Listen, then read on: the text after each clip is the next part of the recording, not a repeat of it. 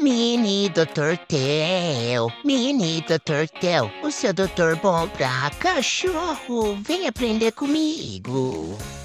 Olá, meus seguidores, hoje vamos aprender quais são os sintomas da doença do carrapato. Podem ter vários, mas eu vou descrever aqui os mais clássicos. Então aproveita e já começa a me seguir, compartilhe com seus amigos. Normalmente, o pet vai começar com a perda de peso. Ele está comendo e está emagrecendo, ou ele está diminuindo o apetite e também emagrece. O pet não come mais como antes. Aí fica muito fácil a pessoa confundir, como por exemplo, com calor. Ah, tá muito quente. O meu cachorro não quer comer tudo. Ou o meu cachorro tá ficando mais velho e não quer comer. Tá diminuindo o apetite. Então, é muito fácil as pessoas confundirem isso.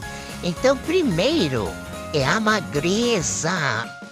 Segundo, a perda de apetite. O pet brinca, interage quando ele está estimulado, vai passear na rua, fica feliz. Mas você percebe que em outros momentos do dia ele está ficando mais quietinho, ele está brincando menos, mas não como antes. Ele está dormindo bastante, não como antes.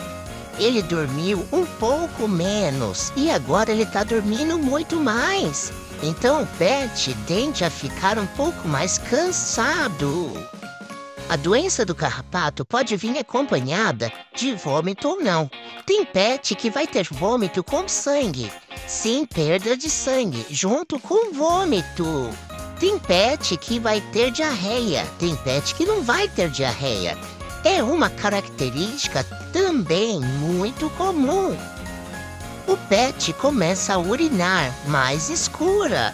A sua urina fica mais escura, com um tom mais amarronzado e é muito forte também, porque a doença do carrapato ela tende a desenvolver cistite.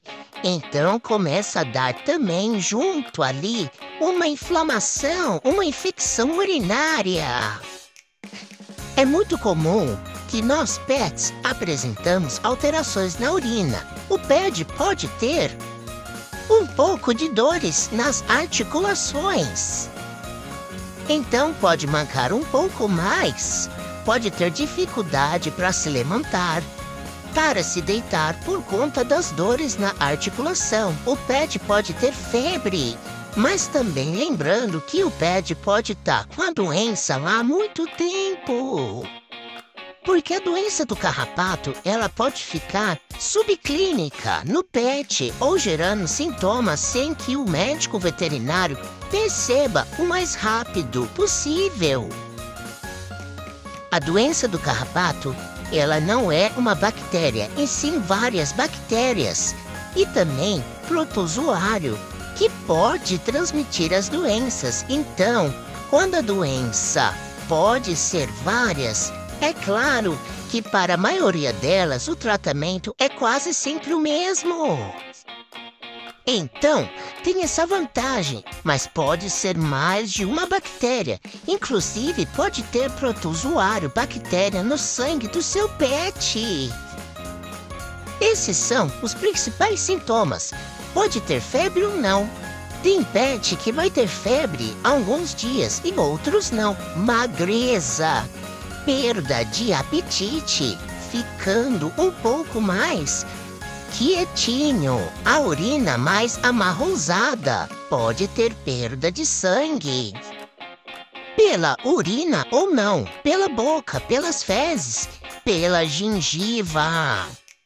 A doença do carrapato, ela tende a comprometer a coagulação daquele pet infectado porque ela baixa demais o número de plaqueta.